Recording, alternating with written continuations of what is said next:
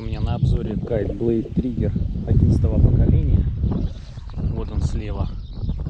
Справа предыдущего поколения. Кайт в 12 размере они оба. Кайт получил такую яркую расцветку. Очень хорошо смотрится в небе.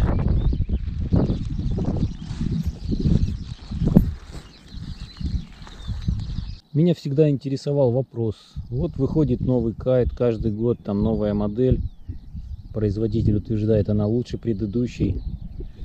Вот на этом обзоре у меня два кайта.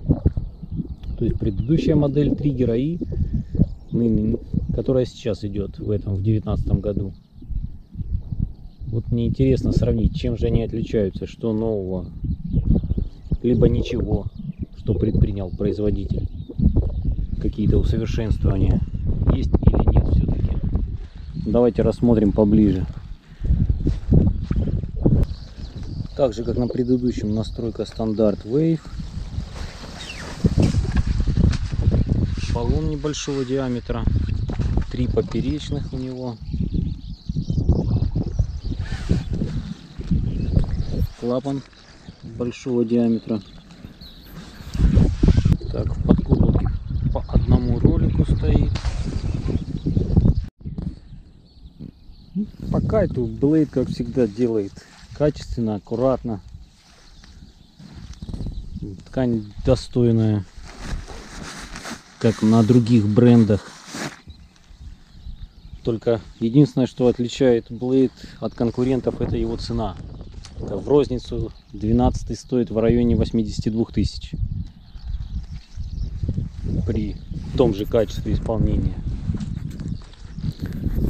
Полете кайт показал себя хорошо. Мне понравилось, как он крутится. Шустрый для такого размера.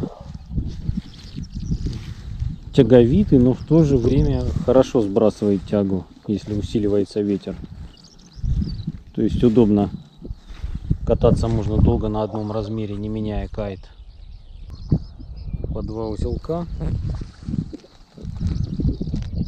Поворота крыла нет регулировки, как и на предыдущих моделях.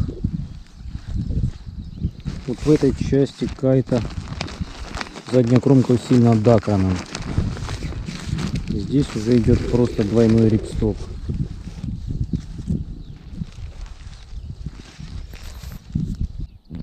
Так, вот сложил я два кайта вместе. То есть внизу у нас предыдущая модель, сверху новая.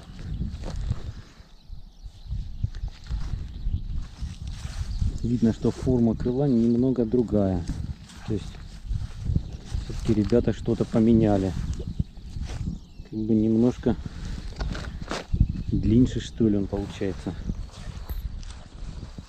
Еще важное изменение, которое всем придется по вкусу, это наконец-то увеличение трубок на перепускных, на поперечных баллонах. Потому что на предыдущий, конечно, он долго спускает кайт, не до конца. Это уже прям больше диаметр. Это очень хорошо. И, как видно, другие клапана. Клапан тоже больше. Вывод о кайте Blade Trigger по итогам двухнедельного тестирования. То есть Кайт действительно универсальный, как заявляет производитель. Он подходит в принципе для всего. То есть был и слабый ветер, и передоз на нем. То есть хорошо показал кайт легкий ветер. На передозе понравился.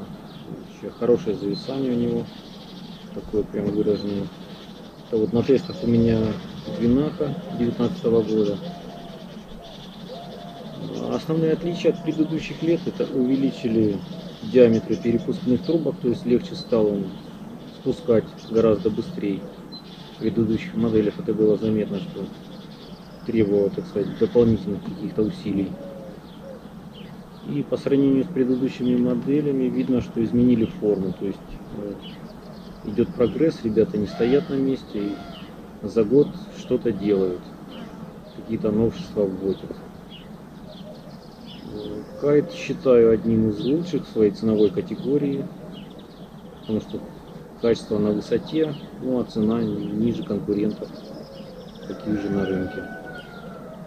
Вот такой итог.